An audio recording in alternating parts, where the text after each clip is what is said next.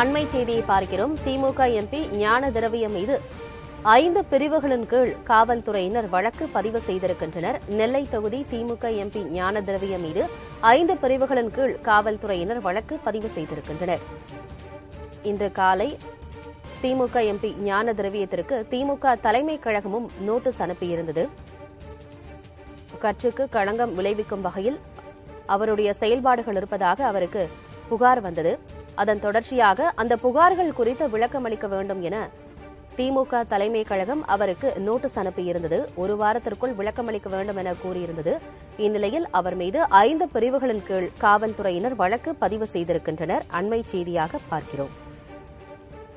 விவரங்களுடன் செய்தியாளர் நாகராஜன் இணைந்திருக்கிறார். நாகராஜன் ஏற்கனவே இன்று காலை அஹ், திமுக எம்பி ஞான திரவியத்திற்கு தலைமை கழகமோ திமுக தலைமை கழகமோ நோட்டீஸ் அனுப்பியிருந்தாங்க. இப்ப அவர் மீது ஐந்து பிரிவுகளின் கீழ் வழக்கு பதிவு செய்யப்பட்டிருக்கு. என்ன விவரம்? அதாவது நேற்று திரு பாளையங்கோட்டையில் உள்ள திருமண் சிஎஸ்ஐ டயசிசன் அலுவலகத்தில் நடந்த மோதல் அதாவது இந்த மோதலுக்கு பின்னணி என்று பார்த்தால் இந்த டயசிசனில் பிஷப்பாக இருக்கக்கூடியவர் பர்ணபாஸ் என்பவர். இவருக்கும் இந்த டயசிசனில் லே செயலாளராக இருக்கக்கூடிய ஜெயசிங் என்பவருக்கும் பல்வேறு முரண்பாடுகள் இருந்து வந்தன.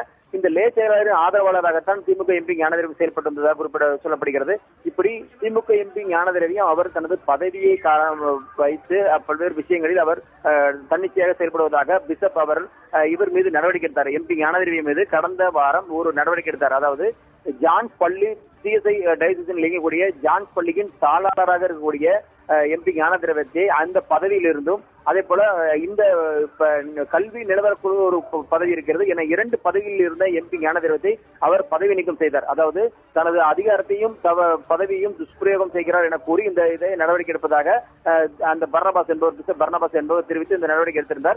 இந்த மோதல் போக்கில் நடவடிக்கை எடுக்கப்பட்டதன் விளைவாக நேற்று டைசன் அலுவலகத்தில் அஹ், சென்ற அஹ், திமுக எம்பி ஞானதிரத்தின் ஆதரவாளர்கள் அங்கு வந்த பிஷப்பின் ஆதரவாளரான காட்ஃப்ரே நோபல் என்ற மத போதகரை அடித்து தாக்குதல் தாக்கி அவரை ஓட ஓட விரட்டினார். இந்த காட்சிகள் அனைத்தும் வீடியோல வைரலானது.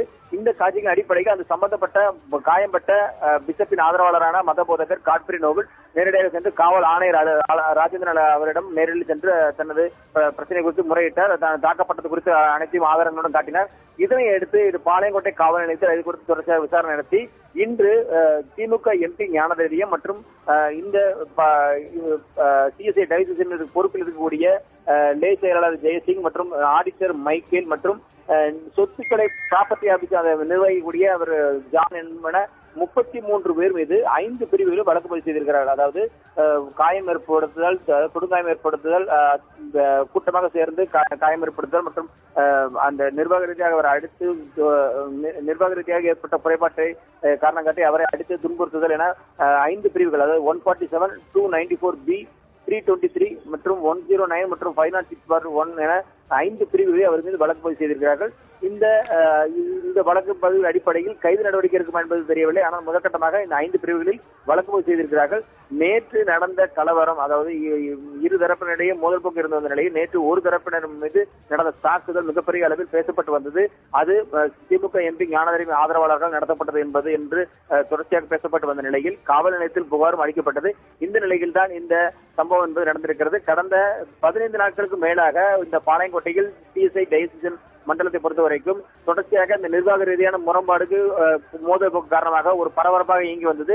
ஜான்ஸ் பள்ளியில் பள்ளி மாணவர்கள் ஆயிரக்கணக்கான மாணவர்கள் படிக்கக்கூடிய அந்த பள்ளியில் இரு தரப்பினரும் அதிகமான வழக்கறிஞர்களை கொண்டு மிகப்பெரிய அளவில் ஒரு ஒரு பிரச்சனையை எதிர்கொண்டு வந்தனர். இந்த நிலையில் தான் தற்பொழுது இந்த நடவடிக்கை அடுத்த கட்டமாக வழக்கு பதிவு செய்யும் அளவிற்கு தற்பொழுது வந்திருக்கிறது ஆனந்தி. விரிவான தகவல்களுக்கு நன்றி நாகராஜன்.